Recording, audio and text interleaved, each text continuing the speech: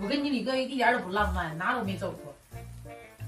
他就不是浪漫的人。这还没走过，这个出国大出国门了，还还没走。哎呦我，你出国门就哪就车难，安阳、冰城。哎，你最起会社，你最起码你要你搁国中国的国门，你要跨。中国从佳木斯跨到沈阳，嗯嗯。从沈阳又跨到韩国。呃，就最远地方，中国还去过北京，还你妈家搁那，你妈家没搁那，北京都没去过。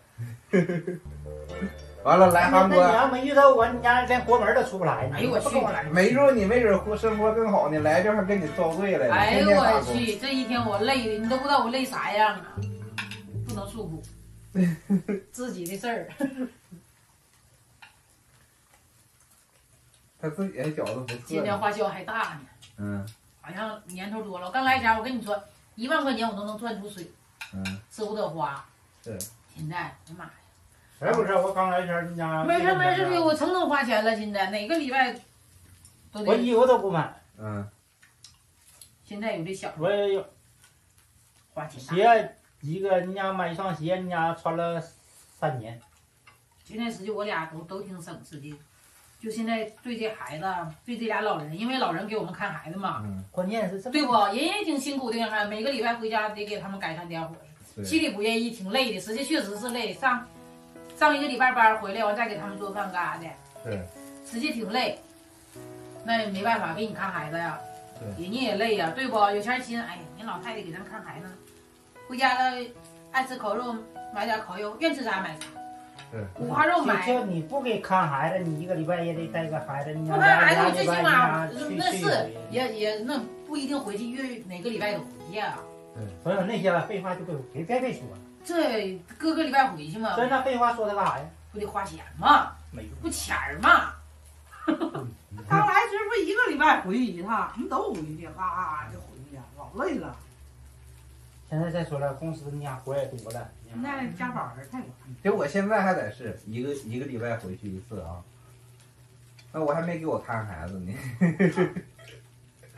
哎，那给看孩子，人家给你看家，你不回去看看去？嗯。正长，对，嗯，那你正长。我这比你那还远呢。你那贷贷款都需要啥呀？你房子，嗯，你就在公司有那个四大保险，嗯，完了入职多长时间？那得需要入职多长时间呢？一年以上。得一年以上。嗯。现在买房子都贵了，完了贷款也不好贷了，利率也涨了。现在是。不买最好。不买，到时候我我我合计买一个，我到时候以后上哪我有个地址啊。嗯。那老太老太太回国了，我我连个地址我都没有啊，落哪儿啊？落这儿呗。这啥呀？这也不是家。那不是家，老板给租的不也行吗？我寻思整一个，整一个。我想在哪整？要往我家落也行。不用，俺家孩子呢。我我不得有个地址吗？那我也是。也不能说搁这家干一年二年的，回国也干不了啥。你说咱回国能干啥？合计搁这边实际来回干啥的，有个地方去不也行吗？我合计贷款干啥的，我想在途胜那边整。嗯，这玩意儿你们得自己看，自己决定。你这每个月走出去多少钱呢？贷款，你家那是多少平？九十多平吧？中国平一百多平。韩国平二十六平。中国平九十多呗。没有九十。八十平大概，然后每个月还一百二十七万。十一两口子上班就得还贷款。三十年。还贷款也老家 跟你一样，也三十年，也是，一百也就那样，跟你差不多少。哎呀，那倒无所谓，一百多万。现在还的少点了，我们也往里边交点了，像我岳父岳母，嗯，给我交了四千万，嗯。我媳妇儿给我交了四千万，然后现在就少点了。啊，你还完那完一点一点完也少啊。对呀。你挣钱多了的话，就往那里边交呗。它利率就下来了嘛，所以就少还了嘛。压力大吗？大，老大了。有这个房贷。是。累死。那我就合计有有有再有小孩儿，小孩儿再小。嗯，我们家现在那大的上高中，嗯，费钱，天天钱。这刚才，妈，胖舅上你家了，干啥去了？我说的给妈改善伙食呗。嗯完了就那干果知道不？就带那个秋葵了，什么那个那什么那个干果嗯发过来了。妈，我要吃这个，嗯网上买那就买呗，那你咋整啊？嗯完上学俩礼拜吧，俩礼拜我给三百块钱，嗯，那够花吗？那就够牛的喽。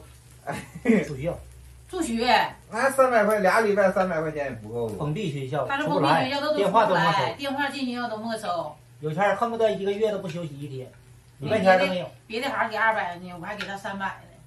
完了是还少中国下大雪了，下大雪了。昨天妈买双鞋，嗯，那还得给他舅家孩子买双鞋，还行，知道给他舅家孩子买双鞋。嗯，三百块钱好干啥呀？哎呀，那我都供不起他。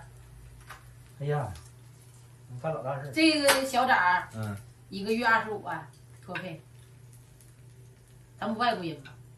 一个月二十五，正常四十多万嘛。现在不有这疫情嘛？老人还给看孩子呢。老人看孩子我也不月月二十万，是，我每个月给老头儿给二十万，嗯那我还那我挣多少钱呢？想想俩几个月，这压力也挺大。一是买房子说买买的，也合计呢，也考虑呢。完了，你李哥说呢，等着小胖，我有时间我问问小胖。也不合计这个买房的事儿嘛。你老头老太太，人家这他那是全税的，像你家那个全税的。嗯。